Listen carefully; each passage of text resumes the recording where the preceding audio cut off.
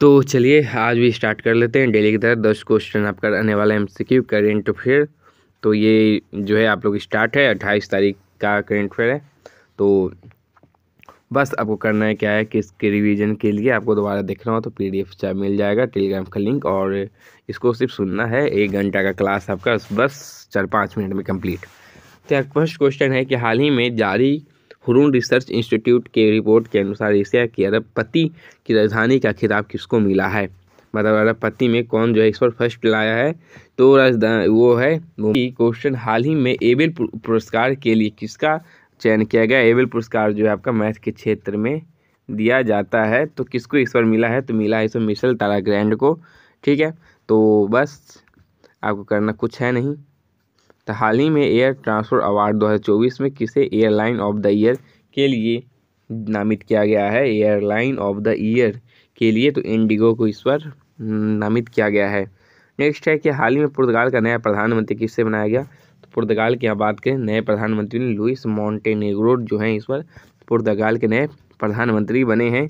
वही बात करते हैं कि हाल ही में बारह हज़ार टी ट्वेंटी रन बनाने की उपलब्धि ये विराट कोहली ने हासिल की है।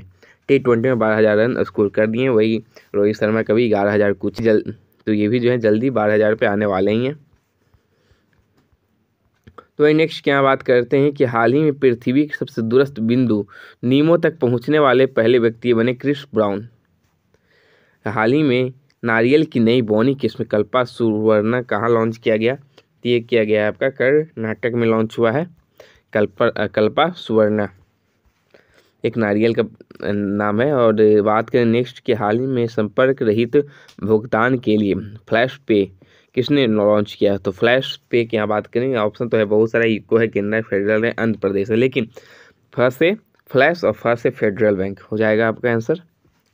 वही नेक्स्ट है कि हाल ही में डोल यात्रा महोत्सव जो है, इस पर पश्चिम बंगाल में मनाया गया है। और नेक्स्ट पे है, लास्ट दस क्वेश्चन की तरह, इस पर भी दस क्वेश्चन आपका हो गया कंप्लीट तो बस जुड़े रहें और देखते रहें। तो और कुछ करना नहीं है। क्वेश्चन है कि सीमा, गश्ती, निगरानी, ड्रोन, त्रिशूल का अनावरण किसने किया? तो इस बार गरुड़ एरो स्पेस ने किया है।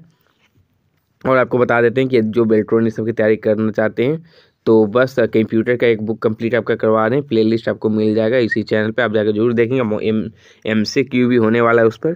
तो उससे आप ज़रूर देखें। तो आज के लिए इतना ही है। प्लीज़ शेयर, सब्सक्राइब करें।